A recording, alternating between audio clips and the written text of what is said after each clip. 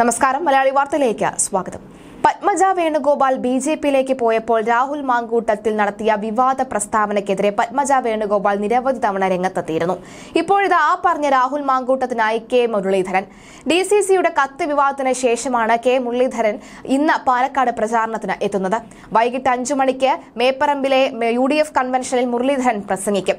രാവിലെ ഏഴ് മണിക്ക് കോട്ട മൈതാനത്ത് നിന്ന് ബുള്ളറ്റ് ബൈക്ക് റാലിയിലൂടെയാണ് യു ഡി എഫ് സ്ഥാനാർത്ഥി രാഹുൽ മാങ്കൂട്ടത്തിന്റെ പ്രചാരണം ആരംഭിക്കുക. എൻ ഡി എയുടെ പ്രചാരണത്തിനായി കേന്ദ്രമന്ത്രി ജോർജ് കുര്യൻ പാലക്കാടത്തും. ബി ജെ പി സംസ്ഥാന അധ്യക്ഷൻ കെ സുരേന്ദ്രനും മണ്ഡലത്തിൽ തുടരുകയാണ്. ഷാർജയിൽ നിന്ന് തിരിച്ചെത്തിയ എൽ ഡി എഫ് സ്ഥാനാർത്ഥി പി സരിനും ഇന്ന് രാവിലെ പ്രചാരണത്തിന് ഇറങ്ങും. സി പി എം സംസ്ഥാന സെക്രട്ടറി എം വി ഗോവിന്ദൻ ഉൾപ്പെടെയുള്ളവർ ജില്ലയിൽ തുടരുകയാണ്. പിണക്കം ഉള്ളിലൊതുക്കി ഉപതെരഞ്ഞെടുപ്പിന്റെ അവസാന ലാപ്പിൽ കെ മുരളീധരൻ പാലക്കാട് പ്രചാരണത്തിന് എത്തുമ്പോൾ വളരെ വലിയ ശ്രദ്ധ നേടിയിരിക്കുകയാണ്.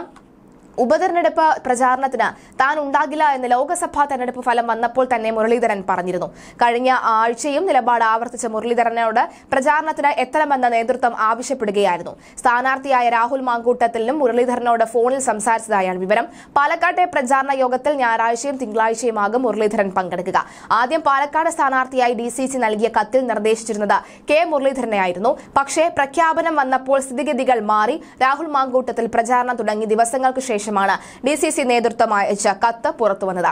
ഇത് പിന്നീട് വലിയ വിവാദമായിരുന്നു. മേപ്പറമ്പ് ജംഗ്ഷനിൽ ഇന്ന് വൈകുന്നേരം ആറിന് പൊതുയോഗത്തിൽ മുരളീധരൻ സംസാരിക്കും. ഇതിന് പിന്നാലെ നാളെ രാവിലെ എട്ടിന് പാലക്കാട് കണ്ണാടിയിൽ കർഷക രക്ഷാ മാർച്ച് മുരളീധരൻ ഉദ്ഘാടനം ചെയ്യും. ഉപതെരഞ്ഞെടുപ്പ് പ്രചാരണത്തിൽ പാലക്കാട്ടേക്ക് സംസ്ഥാന നേതാക്കൾ ക്ഷണിച്ചിട്ടില്ല എന്ന് കോൺഗ്രസ് നേതാവ് കെ മുരളീധരൻ നേരത്തെ പറഞ്ഞിരുന്നു.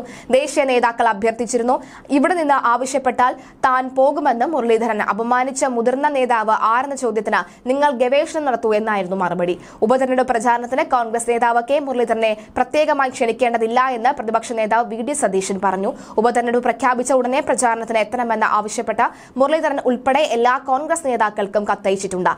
വാട്സാപ്പിലും വിവരം കൈമാറി സ്വന്തം വീട്ടിൽ കല്യാണം നടക്കുമ്പോൾ ഓരോരുത്തരെയും പ്രത്യേകമായി ക്ഷണിക്കേണ്ട കാര്യമില്ല. പാർട്ടിയിലെ ആഭ്യന്തര കാര്യങ്ങൾ പാർട്ടിക്കകത്താണ് ചർച്ച ചെയ്യേണ്ടത്. ഇത്തരം കാര്യങ്ങൾ എന്തുകൊണ്ടാണ് പൊതുമധ്യത്തിൽ പറഞ്ഞത് എന്ന് മുരളീധരനോട് ചോദിക്കണമെന്നും സതീശൻ വ്യക്തമാക്കി.